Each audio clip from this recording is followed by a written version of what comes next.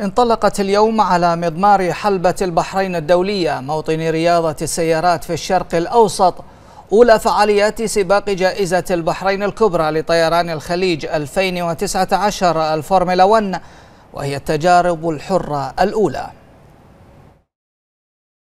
إلى هنا مضمار حلبة البحرين الدولية موطن رياضة السيارات في الشرق الأوسط.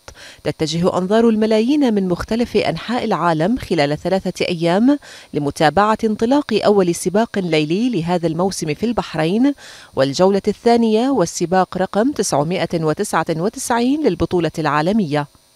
وانطلقت أولى فعاليات سباق جائزة البحرين الكبرى لطيران الخليج 2019 الفورمولا 1 وهي التجارب الحرة الأولى والثانية للسباق. كما شهدت فعاليات الحلبة لليوم الأول جولات حرة وجولات تأهيلية للبطولات المساندة كبطولة الفورمولا 2 وبطولة كأس التحدي البورش جي تي 3 الشرق الأوسط.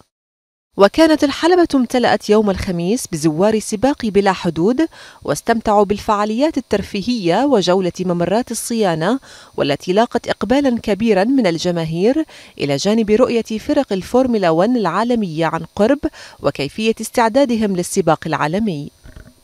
وينطلق سباق هذا العام الذي يمثل الذكرى الخامسة عشرة لاستضافة البحرين للبطولة إلى جانب جدول حافل من الفعاليات الترفيهية والسباقات الدولية والحفلات الغنائية.